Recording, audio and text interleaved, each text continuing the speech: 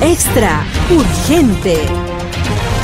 Representante republicana Stefanik demanda al fiscal general de New York, James, por caso sesgado para atrapar al patriota.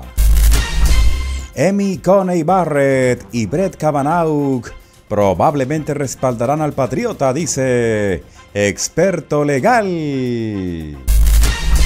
El patriota respalda a Michael Wedley como nuevo presidente del Comité Nacional Republicano y a Lara Trump como copresidenta. Comenzamos el bloque informativo en Extra News. La presidenta de la Conferencia Republicana de la Cámara de Representantes, Elise Stefanik, republicana de New York, presentó hoy una denuncia contra la fiscal general de New York, Letitia James, alegando que su caso de fraude civil contra el patriota fue sesgado. Stefanik acusó a James de atacar al patriota mediante declaraciones extrajudiciales en una declaración a un medio y pidió al Comité de Quejas de Abogados que investigara a James y considerara su inhabilitación o suspensión. Me parece vergonzoso el manejo de la investigación y el juicio del presidente patriota por parte de la fiscal general de New York, Letitia James, declaró. La presentación fue reportada por primera vez por un medio. Stefanik acusó a James de violar principios fundamentales de justicia e imparcialidad al participar en una campaña implacable para dañar al patriota marcada por más de 50 comentarios perjudiciales en redes sociales durante solo las primeras cinco semanas del juicio ha sido su misión explícita desde que anunció su candidatura a la presidencia ir tras el patriota. Añade la declaración de Stefanik.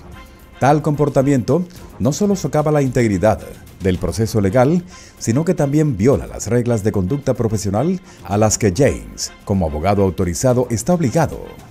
Stefanik dijo que se debe exigir a James un estándar más alto al expresar opiniones sobre asuntos de interés público y que su conducta no solo constituye una violación de sus responsabilidades profesionales, sino que también corre el riesgo de causar un daño irreparable a la ya erosionada confianza del público en nuestro país. Insto al Comité de Quejas de Abogados a realizar de inmediato una investigación exhaustiva y tomar las medidas disciplinarias apropiadas, incluida la suspensión provisional inmediata la inhabilitación o la suspensión de la fiscal general James para defender la integridad de nuestra profesión jurídica y garantizar que se haga justicia de manera imparcial. El patriota ha criticado previamente el supuesto prejuicio de James contra él, diciendo que ella se postuló para el cargo sobre la base de voy a conseguir al patriota. El fiscal general de New York ha pedido una multa de 370 millones de dólares contra el patriota y sus empresas, así como una prohibición de por vida para él y dos ex ejecutivos de empresas de la industria inmobiliaria de New York. La oficina de James ha acusado al patriota y su campaña de inflar falsamente las declaraciones para beneficiarse financieramente con mejores préstamos bancarios y pólizas de seguro. James alegó que el patriota exageró su patrimonio neto en hasta 2.200 millones de dólares al año. De otro lado, las personas designadas por el patriota, Emmy Coney Barrett y Brett Kavanaugh, probablemente respaldarán sus argumentos de inmunidad presidencial en la Corte Suprema, dice un experto legal. Peter Chan, profesor de Derecho Constitucional en la Universidad de New York, dijo que los jueces probablemente se pondrán del lado del patriota, a pesar de los argumentos convincentes para no otorgarle inmunidad presidencial al patriota. Sin embargo, dijo que no sabía cómo votaría el juez Clarence Thomas de tendencia conservadora. Los argumentos contra la inmunidad son tan fuertes que me cuesta mucho imaginar que Barrett y Kavanaugh los apoyan. No tengo idea de qué guía la brújula de Thomas, dijo Chan. Añadió que no es un hecho que la Corte Suprema acepte escuchar el caso de inmunidad del patriota, en el que los abogados del patriota argumentan que su caso de interferencia electoral debería desestimarse porque los hechos involucrados ocurrieron mientras él estaba en el cargo. Shan señaló un artículo que describió recientemente para un medio en el que decía que la historia y la ley sugieren que el patriota no tiene inmunidad presidencial. En resumen, el texto constitucional, la historia, la práctica institucional y el pragmatismo convergen en el mismo resultado y todos están arraigados en el mismo principio fundamental. El Estado de Derecho escribió Chan. El patriota presentó una petición de emergencia ante la Corte Suprema el día de ayer en su caso de interferencia electoral. Ahora tendrá que presentar una petición completa ante la Corte Suprema pidiéndole que conozca el caso de inmunidad presidencial. Originalmente, la jueza Tania Chutkan debería hacer que un jurado tomara juramento sobre dicho caso este mes y el juicio estaba programado para el 4 de marzo de este año.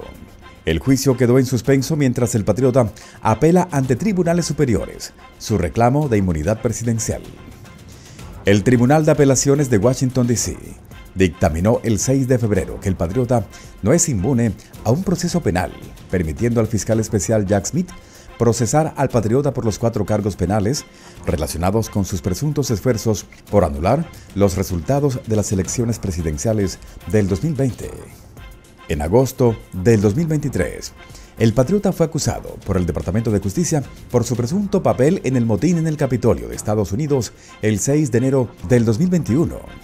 El patriota se declaró inocente y dijo que el caso en su contra tiene motivaciones políticas. La opinión unánime del Tribunal de Apelaciones del martes dijo que el patriota puede enfrentar un juicio por cargos de conspirar para anular los resultados de las elecciones del 2020, uno de los cuatro casos que enfrenta mientras busca recuperar la Casa Blanca en este año. Los jueces rechazaron el argumento de que un presidente tiene autoridad ilimitada para cometer delitos que impidieran el reconocimiento de los resultados electorales o violaran los derechos de los ciudadanos a votar y a que sus votos se cuenten. Chutkan, que supervisa el juicio por interferencia electoral en Washington, D.C., también rechazó el argumento de la inmunidad y dictaminó en diciembre que la oficina de la presidencia no otorga un pase para salir libre de la cárcel. De otro lado, el patriota respaldó al presidente del Partido Republicano de Carolina del Norte, Michael Wadley, para suceder a la presidenta del Comité Nacional Republicano, Rona McDaniel. También anunció su apoyo a que su nuera Lara Trump asuma el cargo de copresidenta del Comité Nacional Republicano. En un comunicado de prensa, el patriota enfatizó la necesidad de que el RNC desempeñe un papel crucial para garantizar elecciones justas y transparentes en todo el país y trabajar sin problemas con su campaña en las próximas elecciones generales. El Comité Nacional Republicano debe ser un buen socio en las elecciones presidenciales debe hacer el trabajo que esperamos del Partido Nacional y hacerlo sin problemas.